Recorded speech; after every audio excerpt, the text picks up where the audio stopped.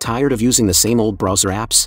Want to create something unique and that will make you money using the latest trends, designs, and the power of ChatGPT in Kotlin and Android Studio? First things first, let's open up Android Studio and create a new project. Go ahead and select the Empty Activity template.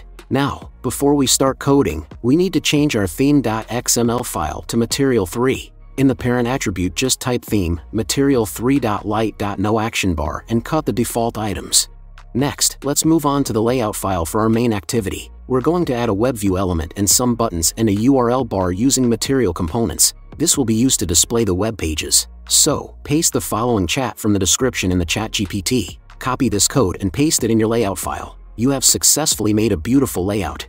Now, let's switch over to your main activity.kt file. Here, we're going to initialize our web view and load a web page. In the ChatGPT, paste the following chat from the description for Kotlin. Copy this code and paste it in your main activity.kt file. Finally, add the following line to the Android manifest.xml file to request internet permission. And just like that, we have a fully functioning browser app with all the features we wanted and a beautiful material UI design. But how do we monetize it? One way could be by adding advertisements to the app. Another option is to offer a premium version of the app with additional features for a one-time or recurring fee. With the help of ChatGPT and the right monetization strategies, your browser app can be both stylish and profitable. Want to be entertained and informed at the same time? Our channel offers fresh and engaging content that you won't find anywhere else. Don't miss out, subscribe now.